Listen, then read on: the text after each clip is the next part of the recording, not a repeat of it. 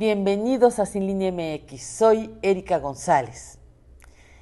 La oposición doblemente vapuleada en las urnas en los procesos de elecciones federales que se han realizado en menos de tres años lleva varios días festejando su victoria en la Ciudad de México, que han magnificado a un nivel apoteósico, como si esto pudiera opacar la tremenda arrastrada que su coalición pervertida de origen se llevó el pasado 6 de junio.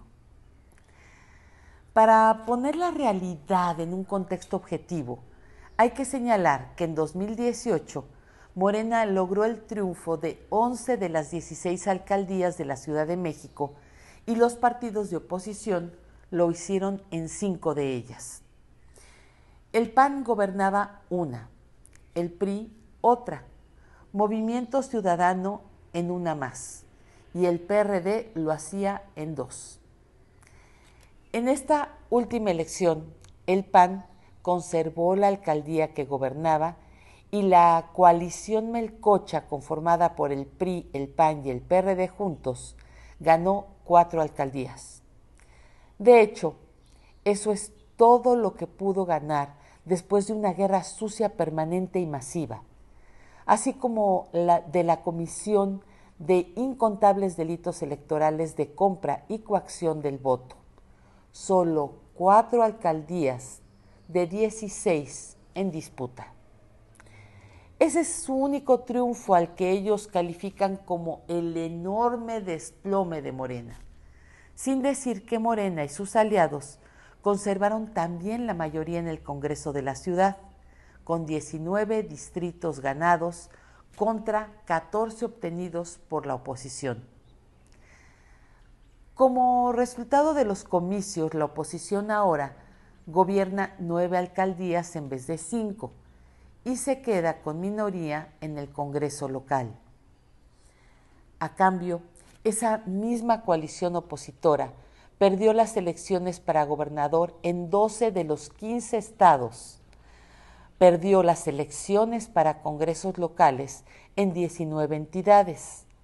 Y para colmo, Morena y sus aliados ganaron la mayoría absoluta en la Cámara de Diputados.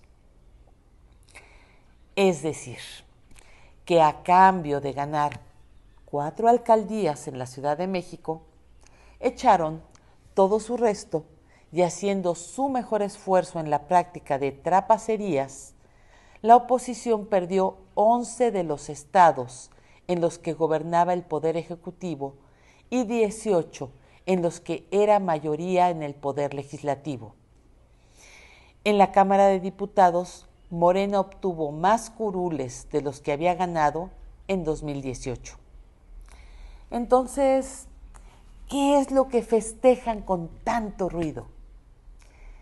El mismo Claudio X González ha manifestado que su inversión fue bastante mala en términos de rentabilidad, porque le prometieron mucho y no le entregaron nada a cambio.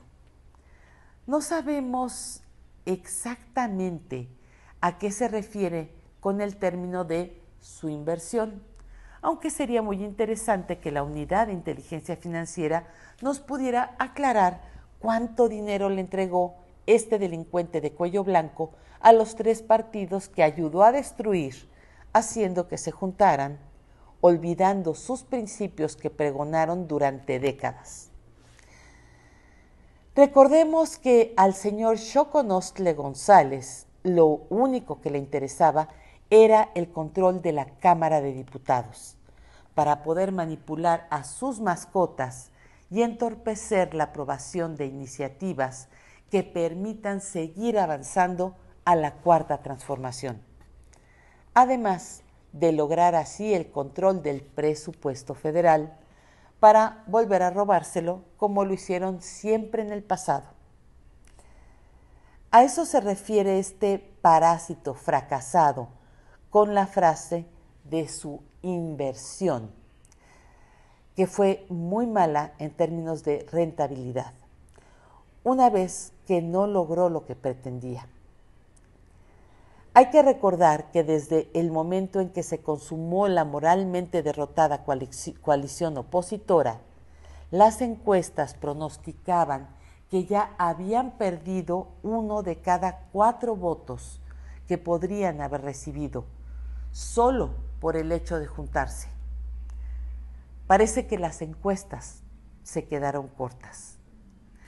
Así es que el supuesto triunfo de la oposición resulta ser solo otro espejismo, como toda la basura mediática que acostumbraban venderle a los disfuncionales cognitivos que integran las filas de sus seguidores. Sin embargo, nos da gusto que estén alegres, aunque solo sea en apariencia y simulación. Como dijo el escritor brasileño Rubén Fonseca, el dinero no compra elegancia, compra simulación. Muchas gracias.